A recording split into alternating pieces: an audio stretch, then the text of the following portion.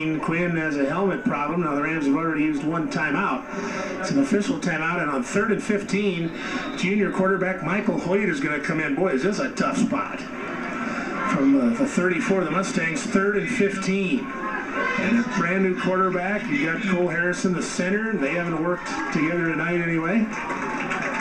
Good exchange, get up the middle. Fisher, big running room. Fisher, 25. Fisher, 20. Gets a great block. 15, 10.